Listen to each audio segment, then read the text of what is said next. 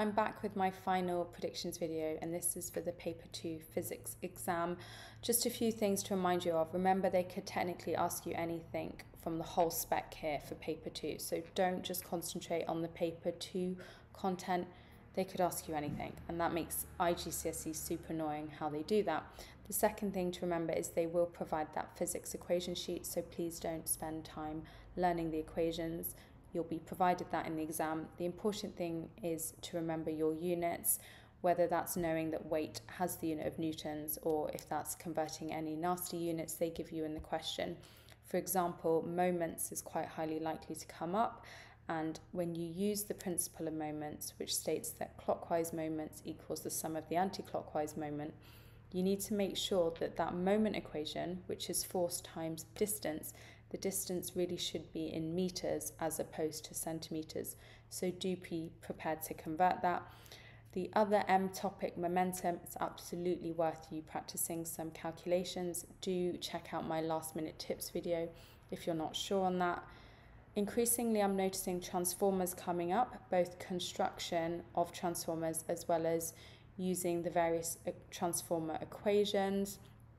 There could be kind of a longer five marker on renewable energy types. So that's comparing wind, solar, geothermal, hydroelectric. So do make sure you're aware that hydroelectric requires mountainous areas. You need a dam to trap the water. Geothermal requires a place where there's a gap in the tectonic plates so that the magma rises up. Usually the disadvantages of renewable energies is that they're unreliable. Wind energy, so it's only going to be turning that turbine if the wind's blowing the same is true for solar energy. We absolutely need sun here, but the biggest advantages here is that they don't release carbon dioxide in the way that fossil fuels do when they are undergoing complete combustion. I know astrophysics came up a lot on paper one. It is worth looking at the Hertzsprung-Russell diagram. Just make sure you're happy where the main sequence is, the white dwarfs, the red giants, and have a look at that X and Y label for me in terms of luminosity and temperature do make sure you've looked over what the difference between redshift is, CMBR, the Big Bang Theory.